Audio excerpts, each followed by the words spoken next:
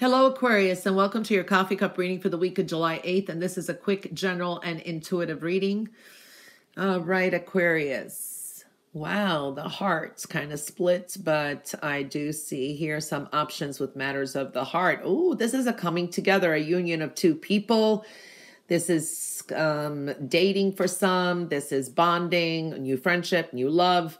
Um, so this is good. This is also for some of you these a lot of memories re, uh, memories of love or you know the good old times too. So i do see that um, energy showing up for you this week. I see the number six and i see the number two um, coming in strong this week too. So you could be kind of like reminiscing and memories of love of the past somehow. So i'm seeing that um, energy as well.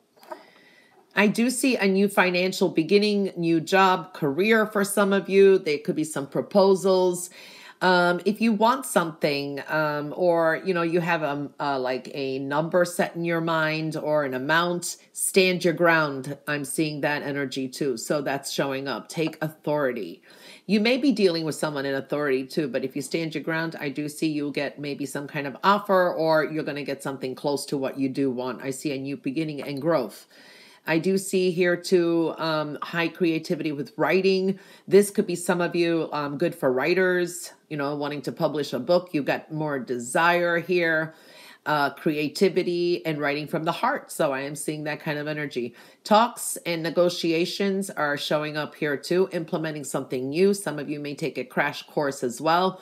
Um, writing or something written is going to be very important. I do see matters of the heart and also a lot of passion and energy here too. I do see you dwelling on some things that didn't work out. This is like, um, oh, who did you wrong? What didn't work? Or you're just kind of insecure. But there's a fresh start here because it comes with like an epiphany or an awareness.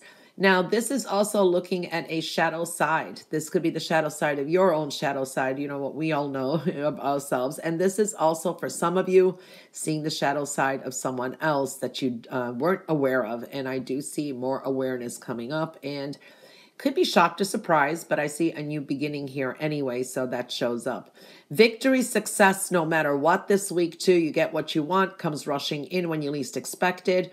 I do see you like relieved. I see you rested, uh, resting, rejuvenating. For some of you, this is a, a going on vacation, travel plans but I do see there could be some problem or worry with finances. There is financial and material changes occurring for good or for bad for some of you, but there is going to be some changes. All right, so I do see that um, energy coming up um, with the finances.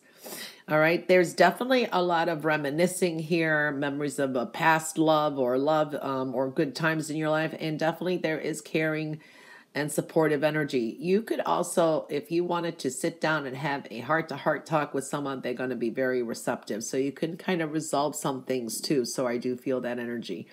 It's quite a um, powerful but an up and down week too. Um, yeah, but there is some financial or material changes um, occurring. All right, so I do see that energy too. And really, it's like the heart and i feel that uh, many um, you're processing a lot of things from the heart. It's like emotional too and some maybe fears or even passion. I mean there's a lot of energy here for um, aquarius this week. All right aquarius that is your reading for the week of july 8th i hope you have a fabulous week and bye for now